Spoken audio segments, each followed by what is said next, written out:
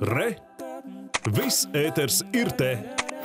Šobrīd dienas kārtībā nav jautājumu par sabiedriskā transporta biļešu cenu izmaiņām, bet ņemot vērā degvielas cenu lielo ietekmi uz kopējiem sabiedriskā transporta pakalpojumu izdevumiem, nav izslēgts, ka tuvākajā laikā tarifi varētu tikt pārskatīti. Tā norāda autotransporta direkcijā.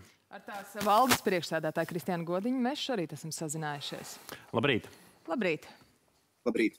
Iesākumā gan sāksim par to, par tiem kravu pārvadu transporta līdzekļiem un autovadītājiem, kas pat labam ir iestrēguši Ukrainā. Kāda ir aktuālā situācija pat labam, cik eh, daudzu to ir Ukrainā? Jā, labrīt. Eh, tiešām traģiski notikumi Ukrainā un eh, Krievijas agresija un okupācijas mēģinājumi ir radījuši daudzas grūtības un tā skaitā arī kravu pārvadājumiem. Mums ir regulārs kontakts ar mūsu pārvadātājiem, kuri strādā ar Ukraiņas tirgu. Un šobrīd tā situācija aktuālākā ir tāda, ka ir piecu pārvadātāji, 11 transporta līdzekļi palikuši Ukraiņas teritorijā.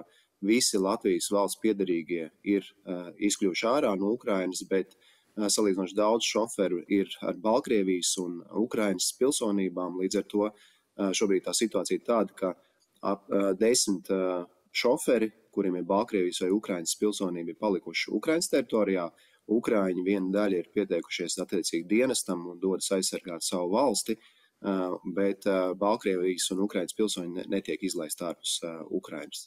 Viens turpina ārstēties slimnīcā ar šautu brūci, tā kā kopumā tā situācija ir apzināta, iesaistīta arī ārlietu ministrija un komunicē gan ar mums, gan pārvadātāji komunicē ar ārlietu ministriju. Tā kā šobrīd tā ir aktuālākā informācija par transporta līdzekļiem un šoferiem uh, Ukrainā. Un sakiet, lūdzu, kāda ir situācija ar autovadītājiem un transporta līdzekļiem, kas uh, bija Baltkrievijā, Krievijā vai joprojām tur arī atrodas?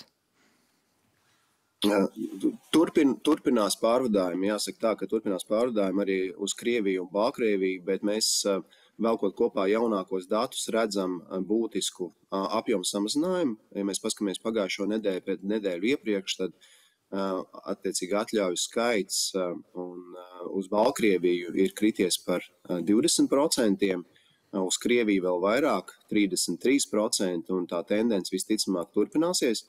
Nu, pārsvarā pārvadājumi vai nu tranzīta pārvadājumi vai pastu pārvadājumi notiek, pārvadājumi ir sarežģīti, jo braucot no Krievijas iekšā Latvijā nāks uz robežu pavadīt pat, pat 10, 12 dien, dienas, tās nav pat stundas, tās ir dienas. Terhova un Grebņevā tās ir 8-10 dienas, Baltkrievija braucot iekšā, tās ir 6 dienas Silena un 4 dienas Paternieki. Tā kā tas viss, protams, sarežģīja pārvadājums, padara tos dārgus un vēl jāņem vērā arī, ka arī ar transporta līdzekļu vadītājiem viena daļa nevēlas braukt uz šiem karstiem punktiem, un vienai daļai attiecīgi brauc, pastāv risks, ka viņus var neizlaist ārpusē. Ja. Tā, kā, tā situācija vērojama arī attiecībā uz pasažieru pārvadājumiem, starptautiskiem. Mēs redzam šeit arī tendences tādas, ka viena daļa cilvēku mēģina izkļūt no Krievijas. Pamatā cenšas vairāk izvēlēties Sanktpēterburgas pusi un caur Somiju, jo tur ir drusku vieglāk viņiem tikt ārā, bet pēc manā rīcībā esošās informācijas no mēģinot Maskavas izkļūt, tad ik pa laikam gadās situācijas, kad uh, drošības dienesti Krievijas um, autobusu aptur, pārmeklē, skatās un vienu daļu arī uh, nelaiž ārā. Tā kā uh, šeit ir vērojama tāda situācija, ja mēs skatāmies Ukrainas pusi, tad salīdzinoši daudz cilvēku, kas ir nokļuvuši Polijā, tad tālāk cenšas pārvietoties arī gan Polijas, Polijas iekšienē, gan no Polijas uz citām valstīm. Jā, pavisam īsi vēl atgriežoties pie mm, kravu pārvadājumiem.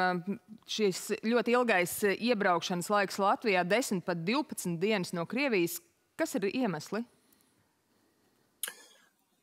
Pirmkārt, ļoti liels transporta līdzekļu skaits uz robežām, jo viena daļa cenšas pamest Krieviju un Baltkrieviju, saskatot un redzot riskus un apdraudējumus gan pašu, pašu drošībai, gan arī biznesam un, un tam līdzīgi. Otrs, pārbaudas neapšaubām uz robežām ir kļuvušas daudz skrupulozākas un tas prasa resursus un laiku. Tā kā šeit ir viss kopā, gan apjomi, transporta līdzekļu apjomi, gan pārbaužu piesardzība un apjomi.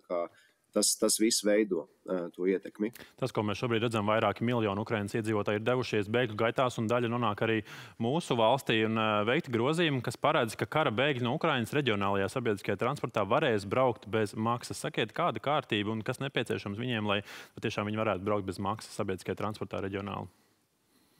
Jā, jāsaka tā, ka uh, viss notika tādā trieciena tempā. Uh, pavisam uh, piekdienu būtībā šis, šī, šī iniciatīva uh, tika apspriesta un akceptēta, un attiecīgi no 12. stājusies spēkā. Tas, kas ir nepieciešams, attiecīgi ir uzrādīt uh, dokumentu, kas ap, apliecina piederību Ukrainai, uh, vai no nu Ukrainas pilsoņa pase, vai attiecīgi tiesības uzturēties Ukrainā bijusi. Un vēl par, par dokumentiem mēs noteikti turpināsim sazināties ar PLMP, attiecīgi, lai būtu pilnīgi precīza informācija ar mūsu pārvadātājiem, jo šie dokumenti ir tomēr dažādi, kas var būt. Tas nav tikai viens dokuments. Katrā ziņā pārvadātāji ir, ir informēti, un es ļoti ceru, ka neveidosies kaut kāda ekscesa vai problēmas, bet katrā ziņā turpināsim skaidrot un strādāt uh, gan ar mūsu pārvadātājiem, gan ar pilsonības lietu migrācijas dienas. Autotransporta direkcija iepriekš arī saņēma atsevišķu pasažieru pārvadātāju pieteikumus, lai sūtītu autobusus uz Polijas-Ukrainas robežu, lai palīdzētu bēgļiem arī nokļūt drošībā. Cik autobusu līdz šim ir nosūtīts un atbraukuši atpakaļ? Te ir div, divas, divi tie pasākumi, kas tika īstenoti. Viens, kas tika īstenots kopīgi ar ārlietu ministriju, kas bija tieši mērķēts Latvijas valsts piedarīgo atgriešanai Latvijā. Un es gribu pateikt ļoti, ļoti lielu paldies Ekolainas komandai un Ekolainas vadībai, kas arī attiecīgi uzņēmās šo, šo darbu. Tika at, nogādāti ar četriem autobusiem valsts piedarīgie. Tur viena daļa bija autobusos arī Ukraiņas, Ukraiņas pilsoņi. Kopumā attiecīgi um, vismaz 200 cilvēki tika atgriezti valstī šādā veidā, tas ir ar šiem mērķētiem reisiem, bet uh, vairāki tūkstoši nonākuši Latvijā ir uh, attiecīgi iebraucot no Ukrainas Polijā un tālāk no Varšavas uh, nokļūstot Latvijā vai tālāk pārvietojoties uz citiem galamērķiem. Katrā ziņā tie pārvadājumi ceļi bijuši vieni tie mērķētie caur ārlietu ministriju un otri, kas bija jau tieši pašiem bēgļiem, lai viņi varētu tālāk nokļūt uz saviem gala mērķiem, tā skaitā arī uz Latviju. Tā kā mēs varam rēķināt, ka te Latvijā ir vairāki tūkstoši jau ukrāņi. Uh, ir no, nonākuši. Te ir tas jautājums, protams, kā viņi tālāk iedzīvosies, darbs, uh, iespējas, izglītošanās iespējas un, un tam līdzīgi. Bet katrā ziņā gan pašvaldības, gan valsts arī meklē šos risinājumus, un viens no tiem ir sabiedriskā transporta izmantošanas iespēja. Otra jauna iniciatīva ir, kas arī stājusies spēkā no 12. marta, ir attiecīgi atvieglojumi strādāt un vadīt taksometrus. Šajā gadījumā Ukraiņas pied, valsts piedarīgiem pilsoņiem netiek prasīta valsts valodas zināšanas. Šajā gadījumā šeit ir uztaisīts izņēmums. Uh, ir jābūt vadītāja apliecībai. Tas nozīmē, ka pieredze um, braukt un vadīt transporta līdzekli uh, bet ir attiecībā uz valodas prasmēm. Tā kā Jā, ir iespējas arī kompānijām iesaistīt. Jā, tik tālu skaidrs. Paldies. Un sarunas noslēgumā par straujo degvielas cenu kāpumu un to ietekmi uz sabiedriskā transporta biļešu cenām. Sakiet, pie kādiem apstākļiem varētu tikt palielināts biļešu cenas, jo šobrīd nu, vismaz autotransporta direkcija neizslēdz tādu iespējamību. Tarifu, tarifu maiņa un tarifu izmaiņas, protams, ir iespējams ne tikai saistībā ar degvielas cenu, bet arī citām pozīcijām. Bet uh, mēs gribētu teikt, ka šis jautājums ir jāskata kompleksi, jāņem vērā, ka uh, ir būtiski sadārdzinājušies daudzi citi komponentes, gan pārtika, gan mājoklis. Līdz ar to būtu vērts domāt, vai šajā gadījumā nevaram atrast kādu citu mērķētu finansiālu atbalstu tieši pašiem pārvadātājiem, lai nevajadzētu būtiski mainīt uh, biļešu cenas. Mēs redzam, paskatoties uz februāri šogad, pret februāri 21. gadā, ir pieaudzis pasažieru skaits un jūtami pieaudzis pa 38% autobusos un 33% vilcienos. Un, un šī būtu iespēja cilvēkiem izmantot arī sabiedrisko transportu vairāk, kā kompensējot uh, būtiskās degvielas cenas uh, kāpumu. Bet jāņem vērā, ka šāda veida uh, agresijas Ukrainā un tepat Eiropas tūmā neapšaubām naftas tirgu ietekmē, un tai pašā laikā notiek arī pasākumi, lai naftas iegūs apjoms palielinātu un naftas cena par barelu arī svārstās un arī nedaudz kritusies. Tā kā vēl jāvēro, jāskatās, cik, cik ilgstoši šāda nebijusi augsta cena degvielas stacijās